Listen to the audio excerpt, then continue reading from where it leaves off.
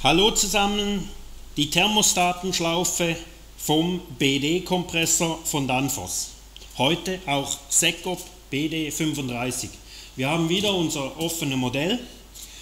Der Thermostat geht von C, also die Thermostatenschlaufe, von C über einen Hauptschalter, über den Drehzahlerhöhung, High-Speed-Widerstand, High-Power-Schalter zusammen, über den Thermostaten wieder auf das T. Die Reihenfolge von Hauptschalter, dem Widerstandpaket und dem Thermostat kann variieren.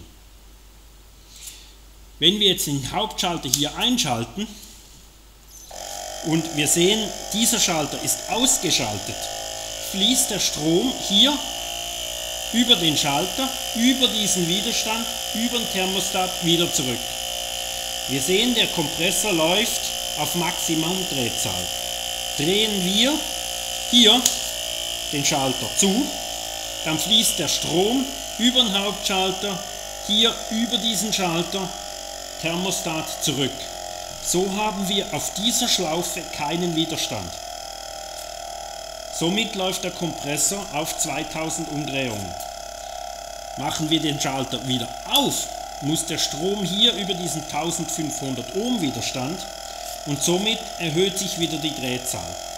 Wir sehen auch die Stromaufnahme vom Kompressor. Hier haben wir bei Maximum Leistung eine Stromaufnahme von etwa 3 Ampere. Wenn wir hier wieder aufs Minimum fahren, gehen wir zurück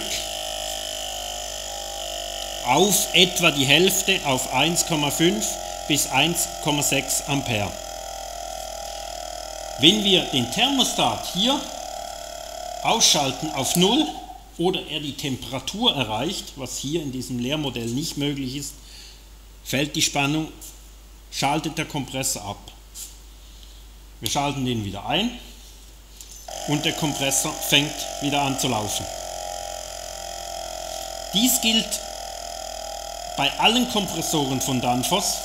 Diese Steuerung hier vom BD35 über den 50er, 60er, 80er, 100er und 120 und sogar den 150 CL, der aber offiziell nicht lieferbar ist.